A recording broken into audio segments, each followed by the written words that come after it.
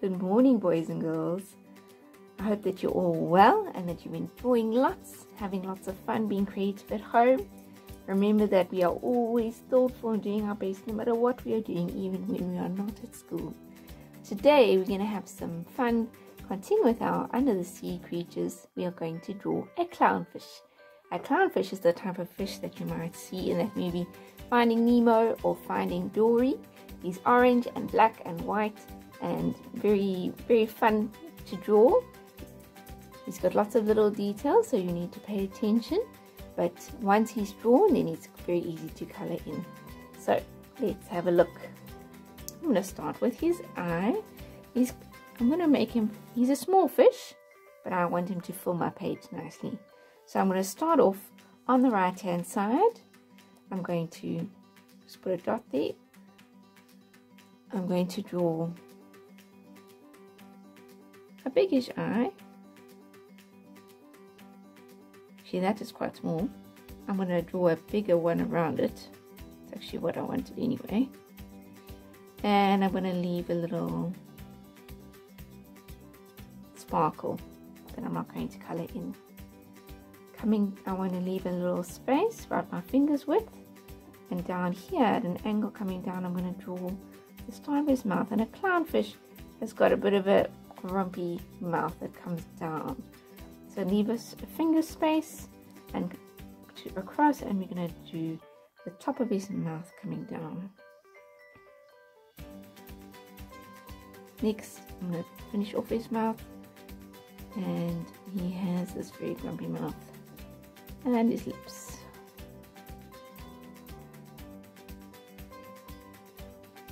Remember, if we go too fast, today that you must just pause the video and then you can catch up or go at your own pace. You don't need to fall behind at all. You just pause the video and then press play when you are ready.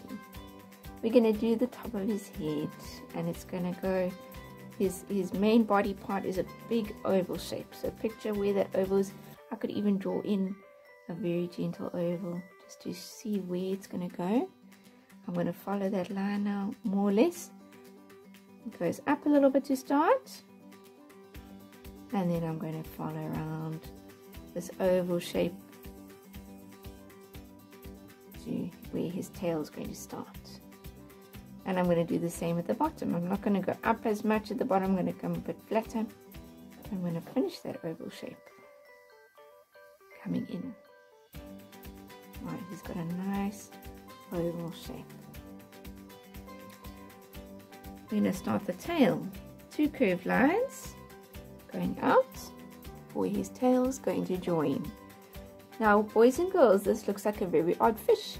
But remember that our brains won't be able to make sense of this picture because he's missing so many different pieces. So don't rub anything out until he's finished. Then you'll be able to tell if there's something to be corrected. His tail is round. I can imagine a big round circle fitting in that space. Okay, it's a round, round tail. And then we're going to put on some more of his fins. He's got one big fin starting above his eye. And it's going to start there and it's going to come halfway down his back. Big fin. Nice big curved line. Nice and rounded. He's got a lot of rounded shapes. Another curved line's gonna I'm gonna leave a space. I'm gonna start and end near his tail. Another curved line.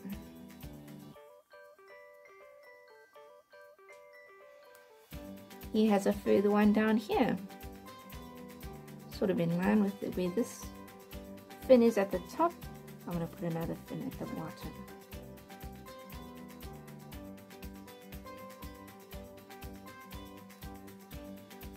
He also has two fins down here, so we're going to put those in behind, just behind where the eye ends, over here in line with that, I'm going to put two, one, and then another one behind two. So he's kind of doing a 3D effect.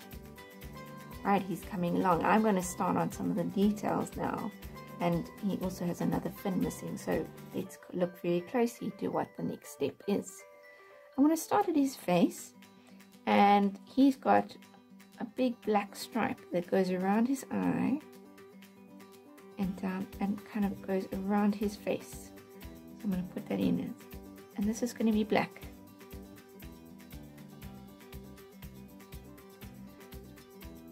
I'm going to his fin, his gill come in, comes in here, and a, um, a clownfish, his gill's got a little spike on it.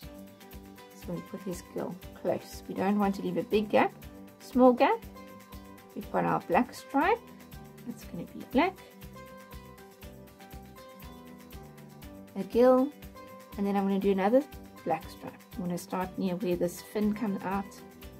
I'm going to go across and down and then I'm going to do a little bump and I'm going to join up. It's almost like a sideways M, two little hills, bump, bump.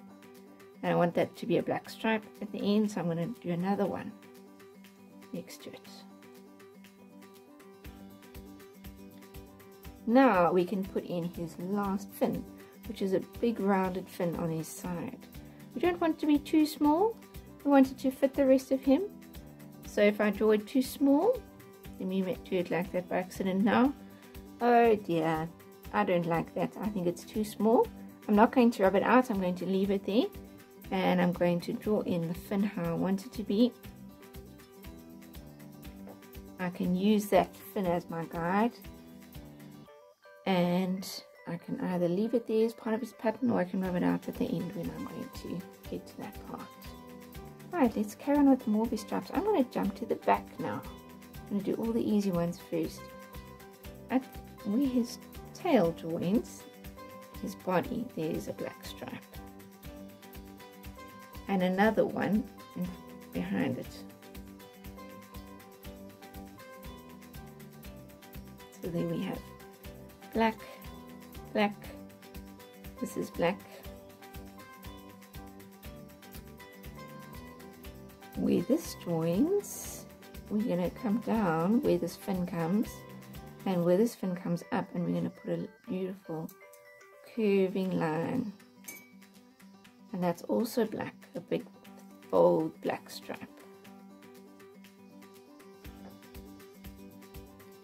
Something similar over here starting where this fin comes down there's a curve that joins up to his fin. Now look carefully what's going to happen. I'm going to make it come down at the bottom. Going to jump in my mind behind this fin and come out in line with it.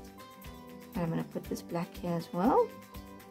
But the top is a bit different. It's going to follow. And it's going to go along the top of the fin and join up to that black stripe.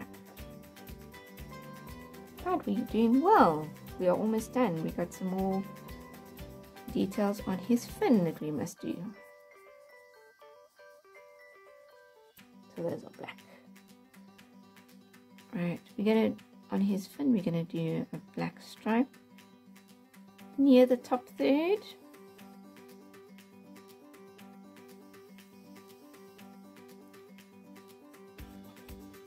And at the top here, he has sort of little spines in his fin. So I'm going to do that on all the fins. A black stripe and along the edge is this pattern of his fin.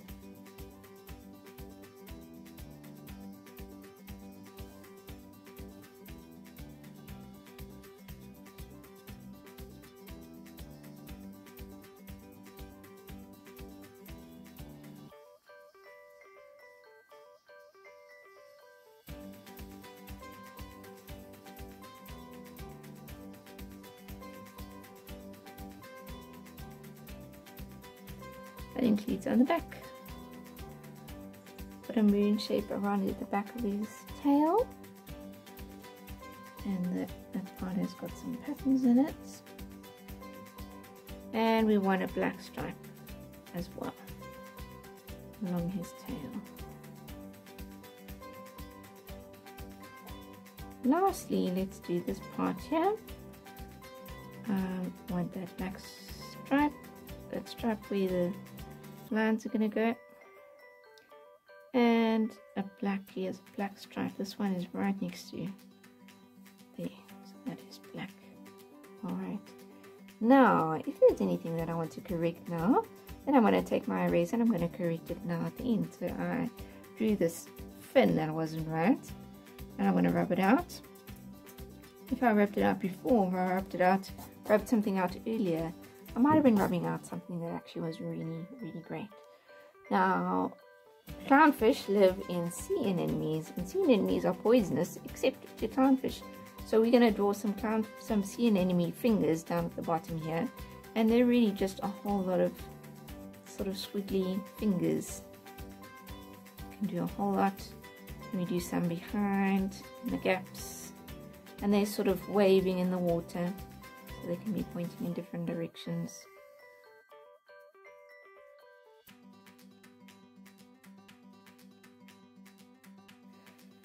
Many people struggle to say the word anemone but actually it's got the name Nemo anemone. So that's how you can remember how to say it how to spell it. It's because Nemo lives in an anemone, anemone. So we can, can always remember that. I'm going to use my Koki today so that it is nice and clear for you. You use what you have. Your black pencil crayon we know works well. And we'll need orange and whatever other colors you might want for the background. So let's start with these black lines.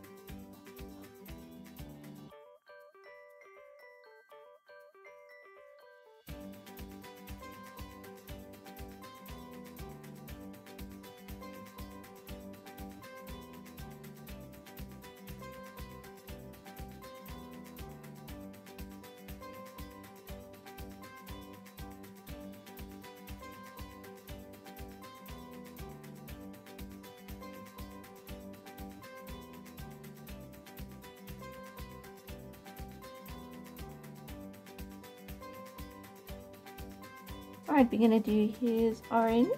I've done that, used the black, but I'm to turn the orange into crown. He has orange, an orange face. I'm just to mark out quickly where the orange is. and I'm to spend some time coloring. Orange, black, white, black, and then this part is orange. Here's an orange fin and this is white. And then this is all orange. White and orange. And there's a little bit of white at the end of his tail. I'll actually make this black stripe go a little bit further.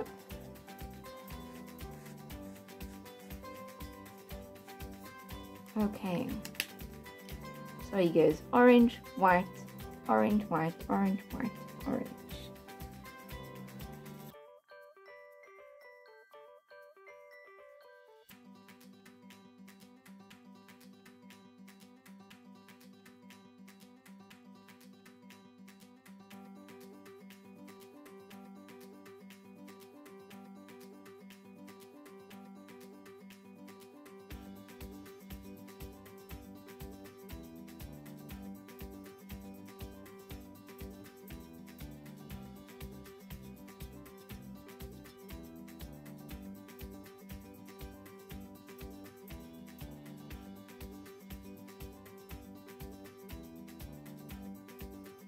Right, I'm looking to see are there any areas that need more attention that look unfinished or rushed, rough.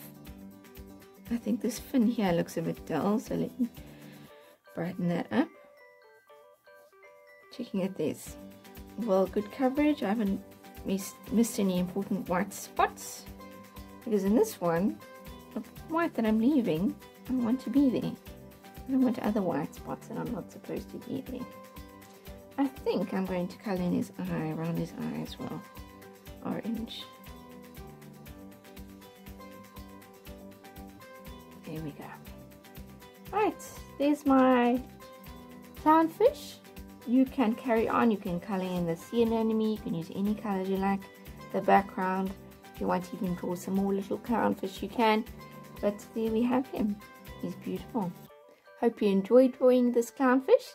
And tomorrow I'm going to see you to draw a sea turtle. So we can look forward to that.